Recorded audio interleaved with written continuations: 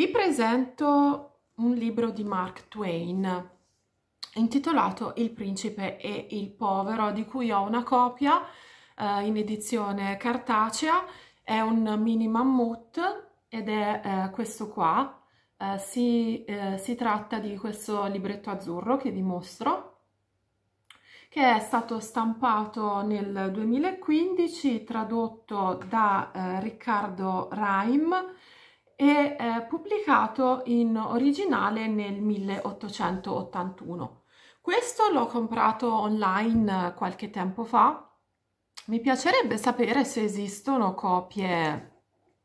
ancora copie della prima edizione in commercio, intendo, um, ma eh, la mia curiosità non va tanto in là da informarmi in merito se non a tempo perso, ovvero come faccio di solito in merito a un mucchio di altre cose um, che um, mi interessano. Um, insomma, tendo di, saper, di saperlo per caso, uh, in modo più o meno fortuito a seconda mh, della vicenda di cui mi informo, ecco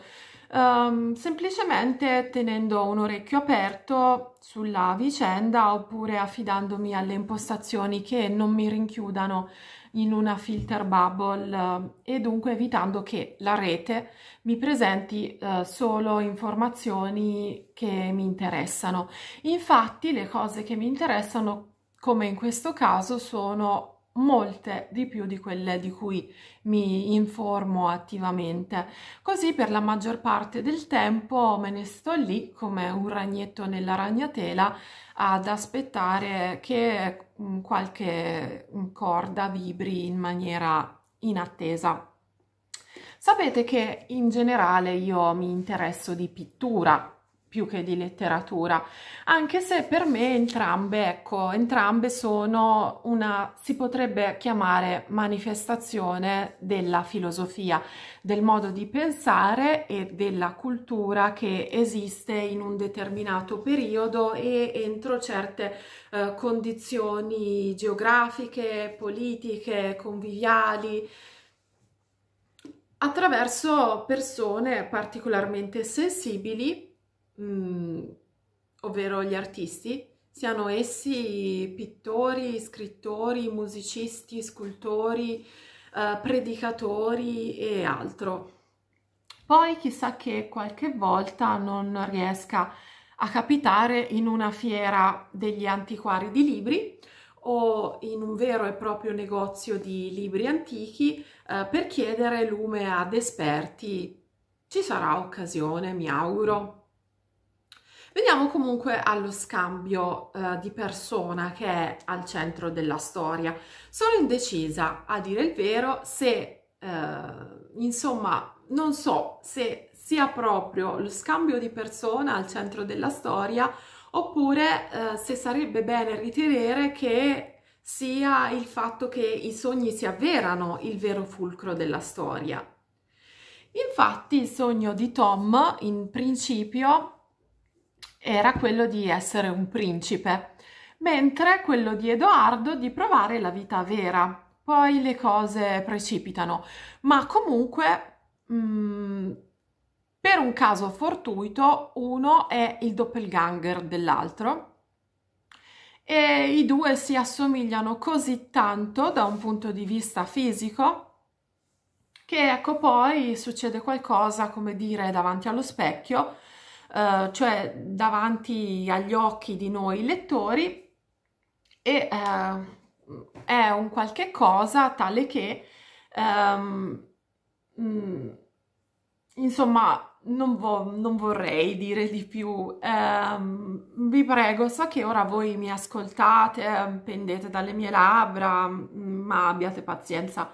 Non posso proprio perché poi dopo il solito discorso dello spoiler, no? Ecco, finisce che poi non dico che rischi di trovarmi in grossi guai, mm, però gna, gna, gna, ma quasi. E dunque, e dunque poi vediamo durante la vicenda quello che potremmo chiamare eh, l'incarnazione del detto che eh, l'abito non fa il monaco. Diciamo così, o meglio, dico io così, la narrazione ha un intreccio arrangiato in modo da lasciare spazio a due linee narrative distinte con un narratore esterno che eh, mette in pausa una poi l'altra fino a riunirle entrambe nel finale. È un libro bellissimo ed è un classico caso in cui il narratore è un pilota. Um, come dicevo in un altro video, ci sono lettori scopritori e lettori accompagnatori. Poi ci sono i casi in cui mh, mm, c'è da allacciarsi la cintura di sicurezza e eh, tenersi ben saldi perché eh, il, mh, mm, appunto come in questo caso Mark Twain che è uno pseudonimo di Samuel Langhorne eh, Clemens. Ecco ci sono casi in cui lo scrittore è un pilota. E eh, dunque ehm, insomma Mark Twain è uno dei più grandi piloti del secolo XIX e dunque um, è uno dei più grandi piloti statunitensi del secolo XIX, meritatamente anche a distanza di due secoli. Racconta di personaggi storici di eh, Edoardo VI d'Inghilterra, di Enrico VIII um, e uh, uno, Edoardo VI d'Inghilterra, è coprotagonista insieme a Tom Canty e Enrico VIII è un re che è tra i più noti, tra quelli di Inghilterra, o meglio uno dei re che segnò la storia inglese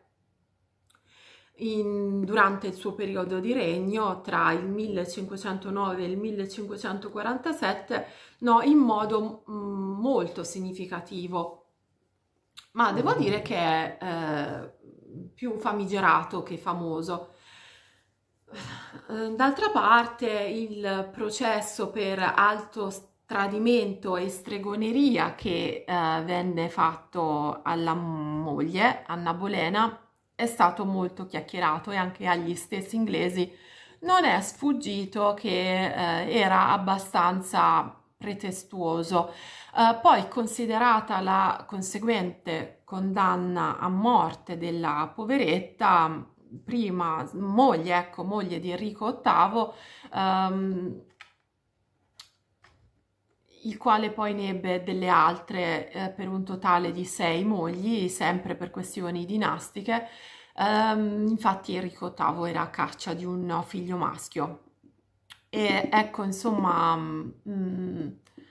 non è sfuggito nemmeno a loro che era abbastanza pretestuoso come... Mh, mm, processo. E come condanna a morte. Comunque Enrico VIII Tudor a sua volta era figlio di Edoardo VII, il primo della dinastia Tudor al trono inglese. E tra le varie cose che eh, fece re Enrico um, egli proclamò l'unione dell'Inghilterra con il Galles eh, lo scioglimento dei monasteri eh, che, si erano, eh, che, si erano, formati specialmente nel XIII secolo, un paio di secoli prima. A seguito della riforma che fece Papa Innocenzo III, um, una riforma ecclesiastica molto severa che um, distanziava nettamente il clero dalla popolazione. E dunque mm, era, c'era un sentimento di um, come si potrebbe chiamare, di riavvicinamento al messaggio neotestamentario da parte uh, del popolo che portò appunto alla formazione eh, degli ordini monastici eh, che appunto vennero sciolti almeno in Inghilterra da Enrico VIII e addirittura lui proclamò eh, uno scisma, vero e proprio scisma con la Chiesa cattolica e andò a formare la Chiesa anglicana. Um, ecco, dicono um, che questo scisma venne fatto probabilmente per un, um, un fattore di libertà, di manovra rispetto al Papa eh, e specialmente rispetto al matrimonio, come dicevamo prima, infatti Enrico VIII, eh, che sarebbe il padre di Edoardo VI,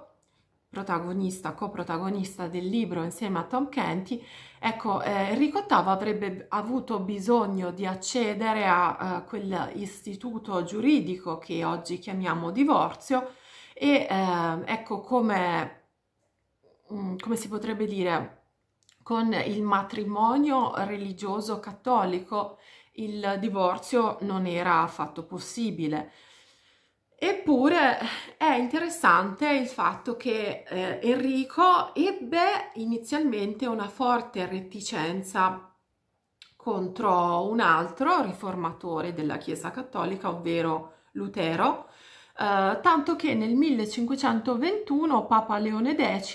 il Papa famoso, o meglio anche in questo caso famigerato eh, per le indulgenze,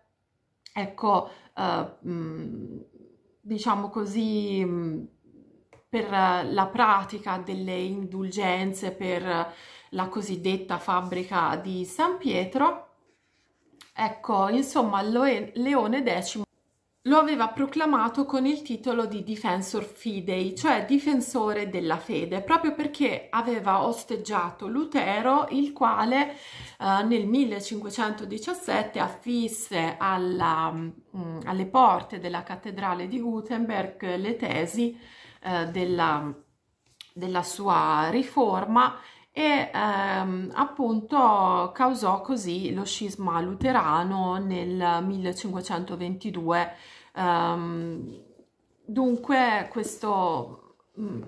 è un excursus storico che um, può essere interessante come contestualizzazione. Uh, poi in realtà, come dicevo, in principio è più che altro il figlio di Enrico Edoardo VI che è protagonista della vicenda, anche se per una buona metà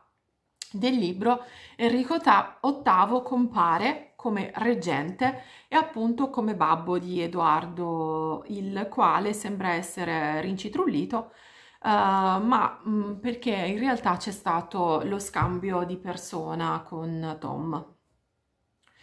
Uh, dunque, il libro propriamente è ambientato all'epoca di Enrico VIII, ovvero mostra la società all'epoca di Enrico VIII e poi in modo fantasioso le vicende che portarono il cambiamento a tratti radicale uh, che il regno di Edoardo VI promosse. A proposito, avete, dicevo, mh, dicevo prima che Enrico VIII mh, venne proclamato Defensor Fidei da Papa Leone X, ma avete mai visto il ritratto di Leone X? L'hanno restaura- restaurato che è poco, si trova alla Galleria degli Uffizi, è il ritratto di Papa Leone X tra il cardinale Giulio de Medici e Luigi de Rossi, un olio su tavola di Raffaello del 1518. È davvero molto bello come c'è da mm, aspettarsi. Raffaello infatti è considerato normalmente nella storia dell'arte come diciamo il primo pittore che eh, propone nei ritratti una introspezione psicologica in modo rivoluzionario rispetto al secolo precedente, ecco, mh, mm, rispetto a come si dipingeva normalmente nel secolo precedente. Insomma, ora eh, si rischia che io mi metta a parlare eh, di storia dell'arte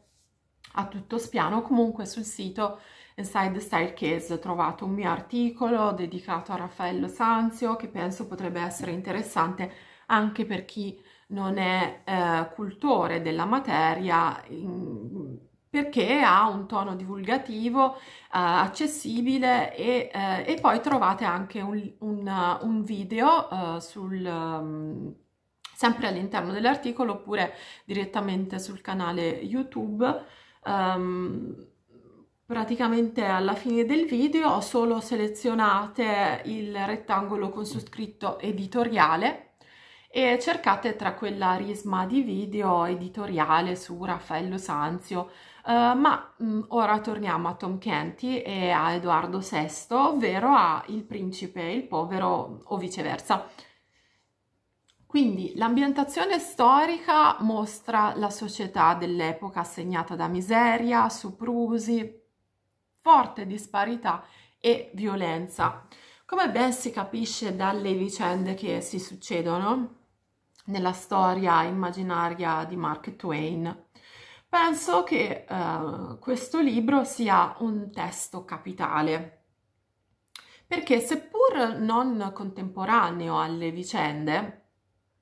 penso mostri la società all'epoca di Enrico VIII in maniera attendibile, come dire, permette di ri- ridimensionare gli errori di anacronismo eh, quando ci poniamo a vedere eh, le vicende dell'epoca e perciò permette di capire l'epoca eh, del XVI secolo in cui la società era profondamente legata alla vendetta e alla prepotenza e alla violenza, il che crea quella particolare condizione che io definirei del cane che si morde la coda. Lasciatemi fare un po' il filosofo, è la palissiano, la violenza chiama violenza, l'ignoranza chiama ignoranza e la cattiveria chiama cattiveria, poi la cosa si incrocia, ovvero l'ignoranza chiama cattiveria e l'ignoranza impoverisce i costumi e l'animo, con il risultato di imbarbarire ai noi sempre di più i costumi eh, dei non abbienti e eh, di foderare di prosciutto a fette sempre più spesse gli occhi dei potenti, mm, di coloro che eh, mal, loro malgrado eh, nuotando in oro quantomeno non, non meritato ma più che altro estorto, molto rapidamente mh, mm, perdono sempre di più il contatto con la realtà e eh, il calore dell'amore e della grazia di Dio, peggiorando ulteriormente la condizione generale eh, come Ecco, no, spesso succede in tutte le epoche e in tutti i paesi, a meno che non ci sia un'azione uguale e contraria che ponga una soluzione alternativa al morso della coda, ovvero la fiducia, il benvolere e la comprensione e la misericordia e la pietà e l'amnistia e la generosità, insomma, le condizioni, ecco, per la pace, no? Come si legge in nota qui mm, su questo libro, a quel tempo era prevista la pena di morte per oltre 200 reati, eh, orribilmente perpetrata in modi diversi a seconda del tipo, della colpa. Insomma, mh, mm, a seconda del genere di reato che era stato fatto, la pena di morte era applicata diversamente dal boia. Uh, inoltre vi erano anche altre punizioni corporali e plateali come l'agonia e la frusta sulla schiena che erano all'ordine del giorno, uh, per non parlare della totale assenza uh, di assistenza sanitaria, educazione scolastica, uh, pubblica e così, ehm, come dire, di tutto. In tutto il libro apro solo uno spiraglio per farvi, per farvi cortesemente vedere un'immagine finale eh, che per me è straziante, eh, la sequenza che si potrebbe chiamare della mamma e della figlia, mi riferisco a quella. Che sono imprigionate e poi arse sul rogo eh, perché di religione battista. Scelgo questa per più di un motivo. Sia per la delicatezza e la mite rassegnazione eh, con cui le due affrontano eh, l'infausta sorte,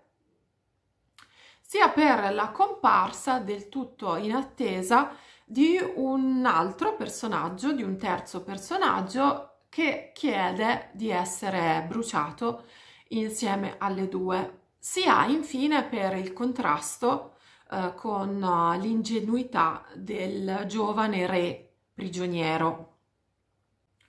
La penna di Mark Twain è come sempre in grado di mostrare e di far capire alternativamente e contemporaneamente.